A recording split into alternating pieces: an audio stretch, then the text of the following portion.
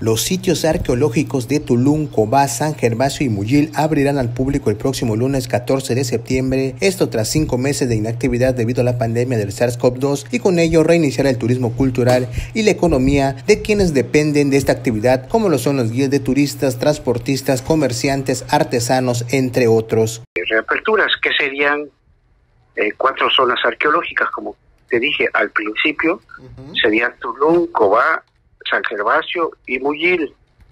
Y hacia el 17 de septiembre reabriríamos las otras zonas arqueológicas. El director del Instituto Nacional de Antropología e Historia en Quintana Roo, Margarito Molina Rendón, resaltó que aunque estos primeros cuatro sitios arqueológicos reabrirán al público, esto será con horario limitado, al igual que el número de visitantes, acorde a lo que establece el semáforo epidemiológico estatal, augurando que no se espera aglomeraciones en razón a la temporada y las condiciones que prevalecen del COVID-19 en Estados Unidos y Europa. Ahí hay que tener cuidado con las expectativas, porque bueno, hay anuncios del gobierno norteamericano a sus ciudadanos, hay rebrote de pandemia en, en Europa, entonces hay que, hay que irnos con cuidado. Pero lo importante es empezar a reabrir para activar, eh, aunque sea de manera muy, muy, en un nivel muy bajo, pero